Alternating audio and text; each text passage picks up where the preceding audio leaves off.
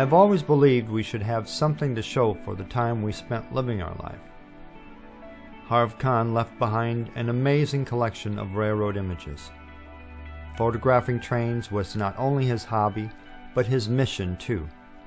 He did it with such great enthusiasm. He was bound and determined to capture this mode of transportation history on film. Less than 10 years after serving in the Vietnam War, he quickly adjusted back into civilian life.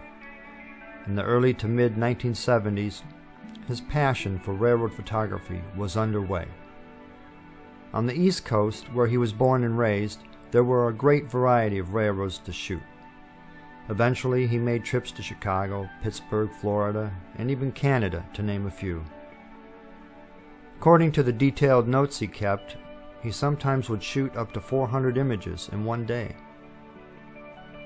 When he moved out west to Las Vegas, Nevada around 1980, he photographed the railroading in the Union Pacific rail yards.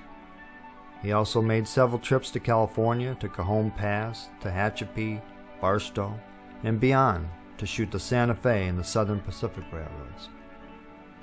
In this documentary, I want to introduce Harv Kahn, the railroad photographer, to the world. He was a dear friend, he and his second wife, Lynne.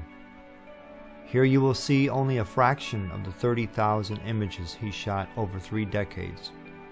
He captured these scenes not only for his own enjoyment, but also for historical preservation and to pass on to future generations. His style was fairly straightforward, yet artsy in its own way. But he was here to record an important era of trains as he's seen it through his viewfinder.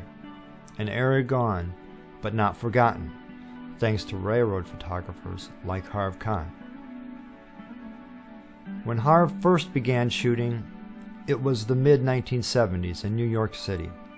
At that time, he first used black and white print film. All sorts of railroad activity was zooming by in the big city. Commuter trains, subways, the Penn Central GG1s, and all sorts of other first and second generation locomotives from a variety of eastern railroads. He would basically compose a scene the best he could, considering how busy and filled up the picture seemed with numerous other things. But what he saw, he shot, even if it was not pretty to some.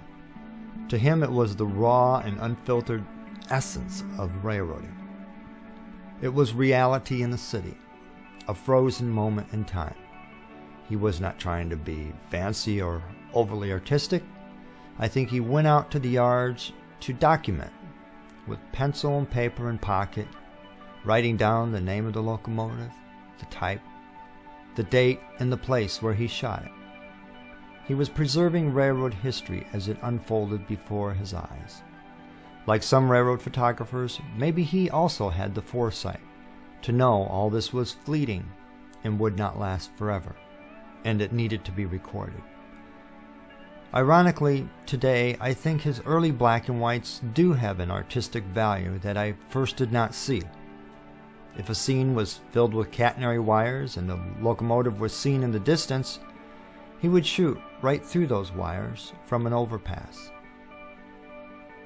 If buildings, traffic, and people were a part of the scene, he would include it also.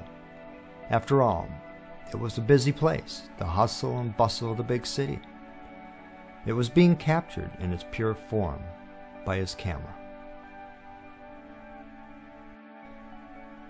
Harv was very fond of the electric powered GG1s and he photographed a multitude of them. These locomotives were built from 1934 to 43 and were still in use up to 1983. Locomotive number 4800, nicknamed Old Rivets, was the first GG1 to be built, and in 1976 was painted into a colorful bicentennial scheme. He captured them in a variety of railroad names such as Pennsylvania, Penn Central, Amtrak, Conrail, and New Jersey Transit. Harv was witnessing the final chapter for the old electric units. After 1983, a handful would escape being scrapped and would be donated to museums. This shot of 4906 has always been a favorite of mine. I think it represents a perfect aerial roster shot where you can see the front, side, plus the top of the GG1. This scene depicts action because of the man hanging onto the end. The haze in the air, along with the catenary wires and tracks leading into the distance, and the railroading facilities produce a very powerful image for me. And in addition, 4906 was painted in Amtrak colors, which made it quite a catch. Amtrak then was just a few years old. Harv captured a few pictures of the famous 4876, which on January 15, 1953, was a runaway train and crashed into Union Station in Washington, D.C. Just like in the movie Silver Streak, it rammed the buffer stop and continued into the concourse of Union Station before partially falling through the floor into the baggage room below. It was the only accident of a GG1, and no one died in this wreck, and the loco was eventually put back in service. Many more interesting details you can find on the internet. The following images are a sampling of Harv's nighttime photography. When Harv was shooting all this in the mid 1970s to early 80s, it was a friendlier time in railroading, where one could get up close and personal with the locomotives in the yards when you had a camera around your neck. Photographers seemed to have the respect of most railroad personnel because they were there to document, record, and preserve part of railroad history. I can just imagine him with his tripod in hand, camera around his neck, and camera bag of lenses and slide film. As he carefully stepped over tracks and into the yards, looking for scenes to capture the essence and feel of railroading in the night. This image of the Milwaukee road switchers in Bensenville, Illinois is an all time favorite of mine. I remember seeing it for the first time at one of his home slideshows. I was very impressed by it and loved the smoke trails rising from the stacks of these idling locomotives. Often I would ask him about the settings he used on his camera to achieve such great results.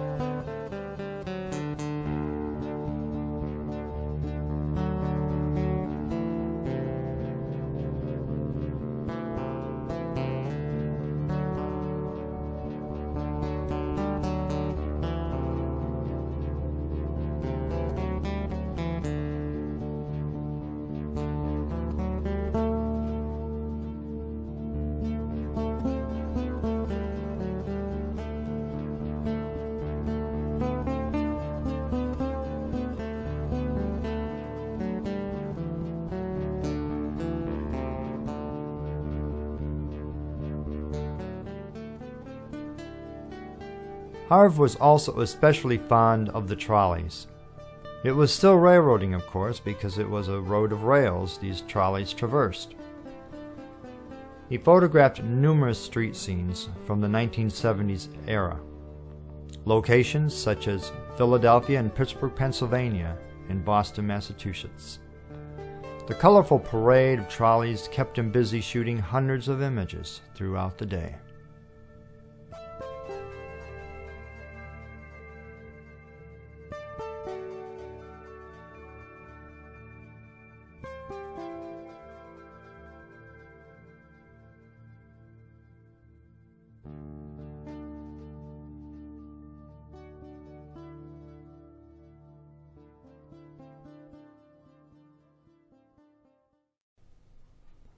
At this point, I'm going to let the photos speak for themselves, and you can enjoy a nice selection of Harv's images, which include first generation Amtrak, a variety of railroads, boxcars, cabooses, and more.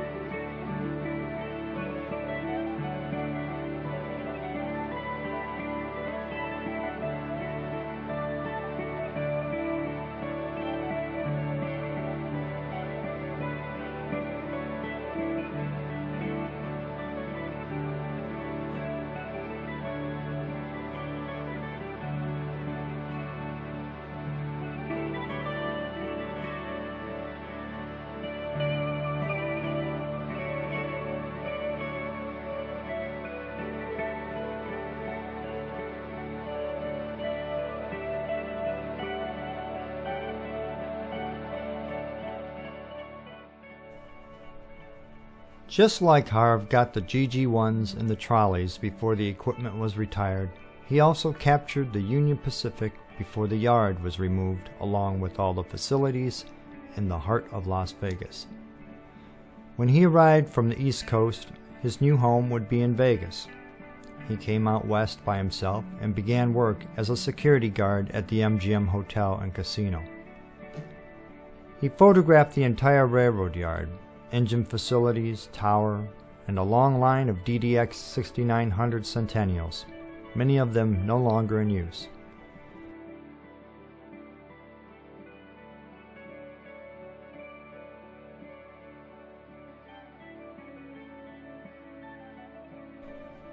He photographed the tower and also snapped a few photos of the workers.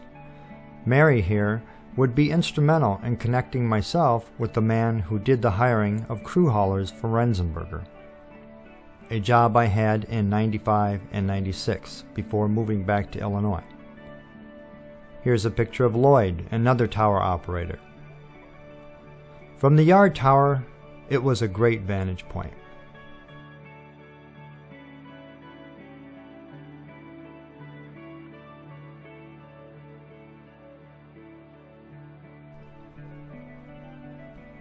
Harv would also shoot on the outskirts of Vegas, such as the Apex. A couple of times, Harv photographed from the top floor of the Holiday Inn Casino on a balcony. This view would take in the entire yard. In a matter of 10 years, all of it would be gone except for the main line and two sidings. I added a couple of my own photos here to show the drastic changes over the years. Harv got it when the getting was good. Before they left Vegas, this was the last picture I took of Harv and Lynne. It was on a railfan trip we made together just north of Vegas. Before they left town, they had made a few previous trips to California and Arizona to catch the Santa Fe, the Southern Pacific, and the Apache Railroad.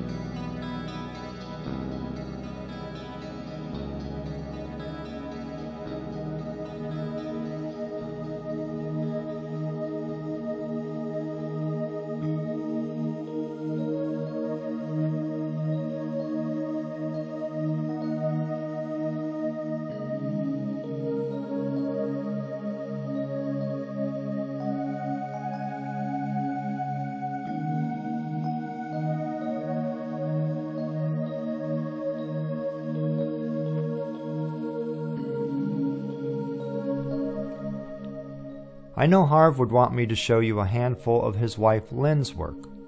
She also was an avid photographer and loved nature and trains.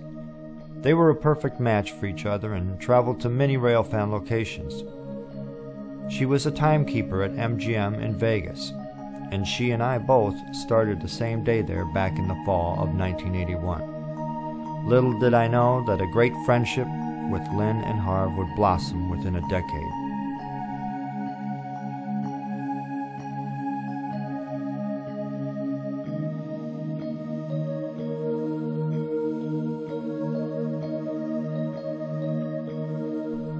I hope you enjoyed the railroad photography of Harv Kahn and his wife Lynne. It means a lot to me to share with you these images that were a huge part of who Harv Kahn was. Now I feel that I have helped his dream come true, that many will see his work. That his work was not forgotten or never to be viewed on a larger scale than the few posts he made on the web in the last years of his life. That fiery passion and enthusiasm for capturing trains on film was with him until a short time before he passed in 2006. Here are a few images from that time. This one here, I can tell he liked because he converted it to this artsy looking painting. I am sure you have a favorite image somewhere in this documentary slideshow that reverberates through you. At the end here, I will leave you with one of his many scenes that captured my heart. This show has been only a couple hundred images of the 30,000 and of the 2,000 I personally picked out, which I believe were some of his best. That was a difficult task. But those 2,000 are now available on a disc, and proceeds go to getting Harv's work published so more of his work may be viewed by a wider audience. His mission was to photograph trains to preserve this history in images, with the purpose of them being seen, and that mission has been accomplished. You can be very glad, Harv. Thank you.